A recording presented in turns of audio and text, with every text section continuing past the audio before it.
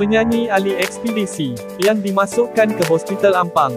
Jumaat lalu terpaksa ditidurkan hari ini selepas mengalami kesukaran bernafas.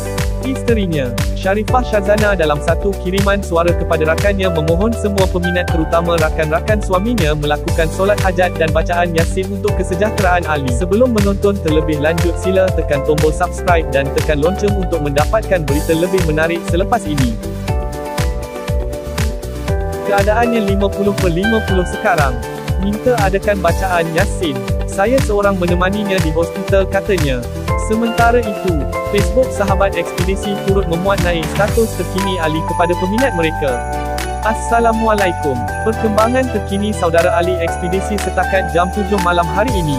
Ahli keluarga Ali minta semua doakan Ali supaya cepat sembuh. Keadaan Ali kalau ikutkan semakin sihat dan mula diajar buat aktiviti ringan dan dah boleh bercakap walaupun keadaan separuh badan belah kanan masih lemah. Tetapi petang tadi Ali mengalami sesak nafas dan hospital telah tidurkan, sementara buat masa ini.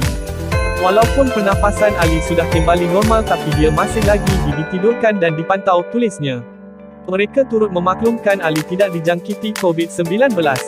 Cuma sebelum ini dia diletakkan di wad saringan COVID-19. Apapun beliau masih lagi tidak boleh menerima pelawat. Ahli keluarga minta semua peminat dan sahabat untuk doakan dan solat hajat untuk kesihatan Muhammad Ali Ismail dikembalikan dan sihat seperti dulu katanya. Terdahulu, Ali dikejarkan ke Hospital Ampang.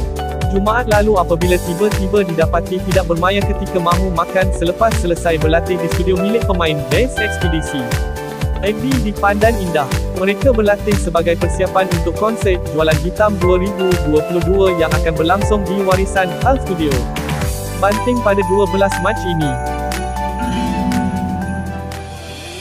Indah sinar sang surya